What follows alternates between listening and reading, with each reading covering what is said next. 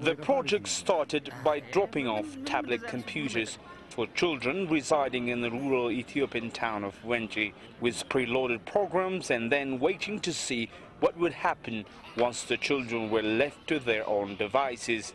In Ethiopia, this would be the first attempt at the concept of self-learning. Apparently, since the year 2012, a lot has changed. After this uh, experiment uh, is uh, the change to actual situation, we may use this way of uh, providing uh, education for uh, students uh, from outside the school. The children themselves say they have greatly benefited from the tablet computers, having gotten a basic education.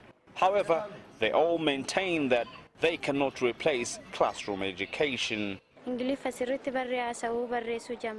Since we started using these tablets, we've learned how to write and speak in English.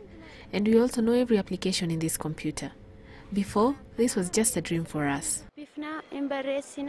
We'd like more schools to be open for us too. This project is supported by the African Union as well as the United Nations Economic Commission for Africa. Both want to use one laptop per child project to pave the way for more usage of technology to drive the uptake of education in the continent. Everything is a beginning, and we are believing that having sown the seed of this project using the pilot in Ethiopia, we can evaluate it and see how we can scale it up to other disadvantaged communities of our societies that are curious to learn but they don't have access to learn. The experiment is being done in two isolated rural villages about 50 kilometers from Addis Ababa.